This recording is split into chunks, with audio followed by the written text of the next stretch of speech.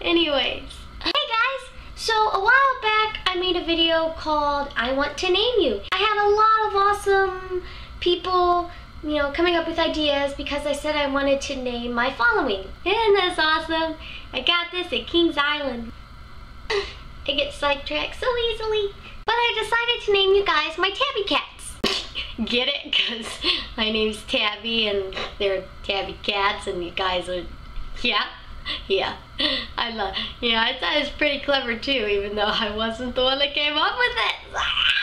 For everyone that was like, hey, I think we should be called the Tabby Cats, congratulations, I chose your name. Also, if you follow me on any other accounts like Facebook and Twitter and Instagram, then you know that I had a contest going on.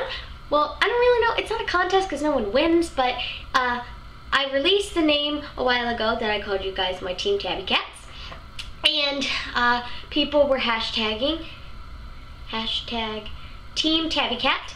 Uh, and they had to take a picture with either a sign or saying somewhere on the picture and then uh, I said I was going to be posting a slideshow with all the pictures and that's going to be at the end of this. So if any of you guys watching this now participated in that, you will be at the end of this video. Woohoo! Hashtag us Team Tabby Cat stuff. Almost as long as my body like dangle, danglies. I don't know. Thanks for watching.